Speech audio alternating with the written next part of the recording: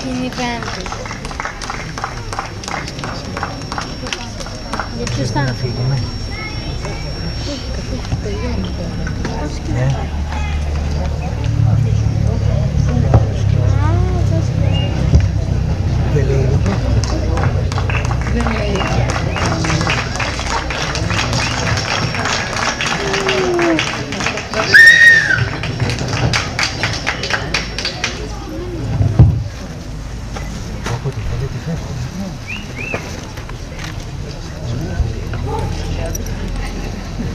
Έβγε και πάλι έβγε στη μάουξε και είπε Έβγα Σοκράτη τώρα δα! Να δεις το μέγα θαύμα. Σου φέρνω το καμάρι μου, το γιο, τον κανακάρι μου, που το κατάφερα να έρθει και δίχως να το θέλει.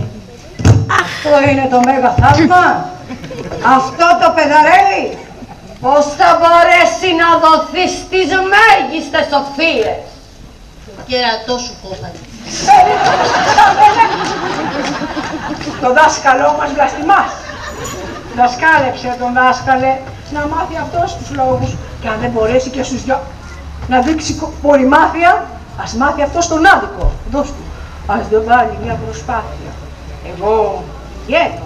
Μην ξεχνάς, επιθυμία μεγάλη. Να μάθει ο γιος μου να νικά τα δίκαια και τα σωστά, με όπλο του την πονηριά, μα και την βαγαμποδιά. Όχι, ρε. Εντάξει. Πήγαινε. Προχώρα. Θα με ξαναπεί.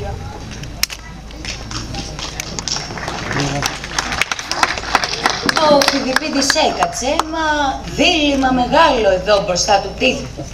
Και αυτό δεν είναι άλλο από μια απόφαση σκληρή που πρέπει να διαλέξει. Του δίκαιου και του σοφού να πάρει τα στοιχεία ή του πατρός να σεβαστεί μεγάλη επιθυμία. Δυο σκέψεις τον τρομάζουνε και πλήρως τον διχάζουν. Στον ύπνο του τον κυνηγούν, στον ξύπνιο τον ταράζουν.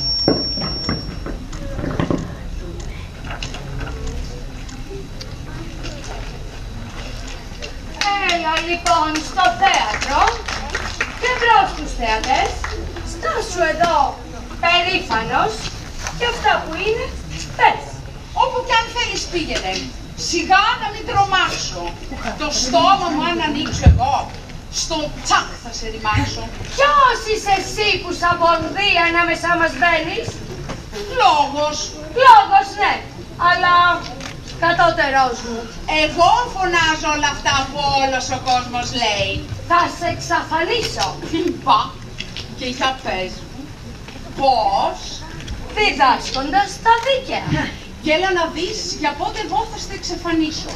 Σου λέγω, δεν υφίσταται αυτή η δικαιοσύνη. Σαν πού τη βλέπεις τώρα εσύ, να τρέξω με βιασύνη. Μα εις τους θεούς Είσαι γελίος γέροντας, είσαι ξεμοραμένος. και εσύ είσαι ανεδέστατος.